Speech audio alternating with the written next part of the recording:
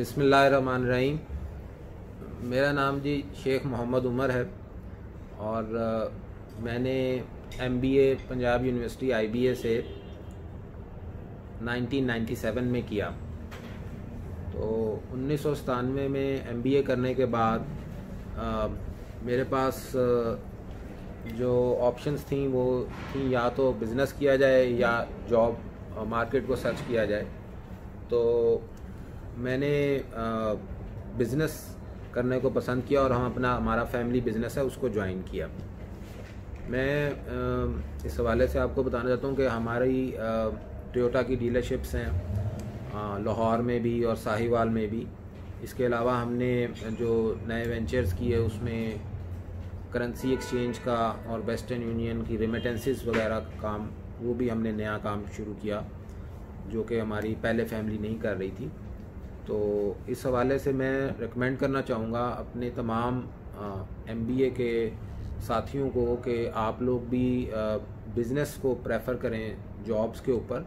क्योंकि मैंने ये देखा है कि जिन लोगों ने भी बिज़नेस को ऑप्ट किया, वो ज़्यादा सक्सेसफुल रहे as compare to job market तो मेरा चूँकि आई बी एल एसोसिएशन से ताल्लुक़ है एसोसिएशन के हवाले से थोड़ा आपको ये बता दूँ कि एसोसिएशन 2007 में आ, हमारी एसोसिएशन बनी और उस वक़्त जो डायरेक्टर थे वो एहसान मलिक साहब थे। उन्होंने उस वक़्त इसको प्रॉपर एडवर्टाइज़ किया न्यूज़पेपर्स में और एप्लीकेशन इकट्ठी की।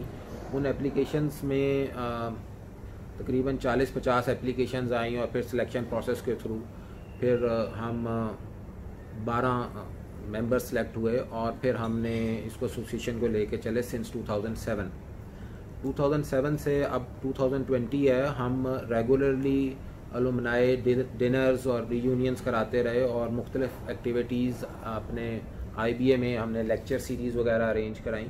तो हम जहाँ तक हो सका हम उसको कंट्रीब्यूट करते रहें और मैं बजाते ख़ुद भी दो साल प्रेसिडेंट अलुमना एसोसिएशन रहा। मैडम साजिदा निसार उस वक्त डायरेक्टर थी और इस वक्त करंटली डायरेक्टर जो हैं मैडम लबीबा शेख, उनके साथ भी काम करने का मौका मिला। तो मैं आप सब अलुमनाए को ये पैगाम देना चाहता हूँ कि जो आप लोग रिसेंटली एमबीए कर रहे हैं, उसमें आप लोगों को प्रेफर करना चाहिए बिज़नेस को एज़ कंपेयर टू जॉब्स अब बिज़नेस करने के लिए जो इंपॉर्टेंट चीज़ें होती हैं उसमें आप देखें तो आपका बिज़नेस प्लान की सिलेक्शन बहुत ज़रूरी है कि जो बिज़नेस प्लान आप सेलेक्ट कर रहे हैं, वो as per current market needs होना चाहिए। हमारी जो इस वक्त की मार्केट है, वो टेक्नोलॉजी ड्रिवन है। और टेक्नोलॉजी के हवाले से आप देखें, जिस तरह नए आइडियाज़ आए, जिसमें ऊबर का आइडिया था क्रीम आया एयर बे को देख लीजिए तो ये वो हैं जो कि टेक्नोलॉजी ड्रिवन चीज़ें हैं। इन्होंने आके पूरा एक काम करने का तरीका ही बदल दिया।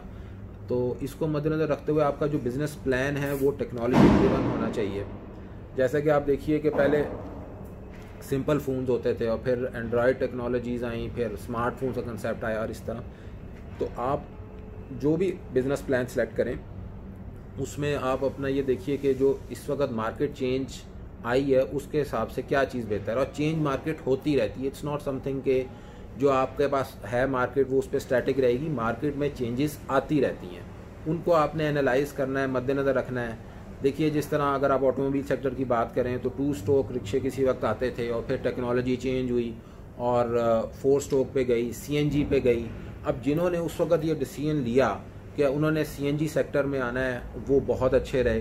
पंप्स के हवाले से भी और रिक्शाज के हवाले से भी जिन्होंने मैन्युफैक्चरिंग की।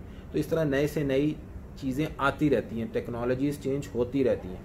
अगर आप जिस तरह करंट अभी सिचुएशन की बात करें तो इस वक्त ग्लोबली प्रेशर है कि जी इन्वायरमेंट फ्रेंडली चीज़ें होनी चाहिए। इन्वायरमेंट फ्रेंडली में आप देखिए तो अभी हाइब्रिड टेक्नोलॉजी की बात होती है इलेक्ट्रिक टेक्नोलॉजीज़ की बात होती हैं तो ये इस कंटिन्यूस चेंजिंग वर्ल्ड है। आप ऐसा जैसे जैसे टाइम गुजरता है नई नई अपॉर्चुनिटीज़ निकलती रहती हैं। और जो कोई भी उसको टाइमली एनालाइज करके, उस पर स्टेप ले लेता है, वो फ़र्स्ट मूवर एडवांटेज पे होता है और उसको बहुत ज़्यादा फ़ायदा होता है।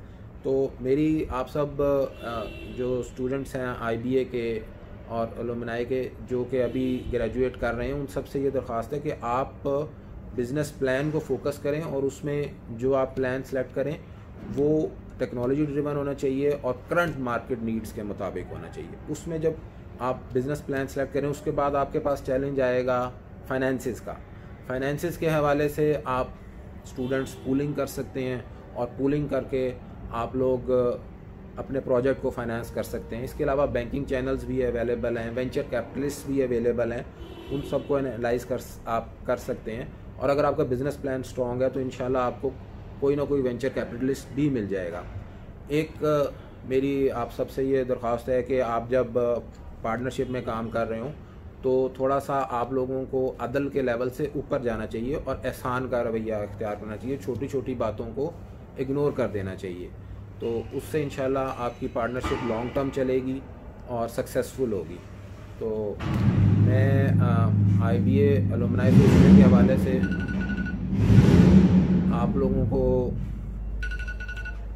ये कहना चाहता हूँ कि आई बी एलुमनाई एसोसिएशन का जो पेजेस हैं, जो कि वेबसाइट्स हैं, उस पर हम आपका फ़ीडबैक लेते रहते हैं। उस पर आप ज़रूर अपना फ़ीडबैक दें हमें for the improvement of I B A इस वक्त अगर आप देखिए यूनिवर्सिटी रैंकिंग्स में देखिए तो ये एक चीज़ बहुत ज़्यादा देखी जा रही है कि जो यूनिवर्सिटी है, उसके एलोमनाए कितने अटैच हैं डिपार्टमेंट्स के साथ। और वो कितना अपने जो करंट स्टूडेंट्स हैं उनकी लिए मावनत कर रहे हैं उनकी जॉब प्लेसमेंट्स के लिए और उनकी बिज़नेस एक्टिविटीज़ में।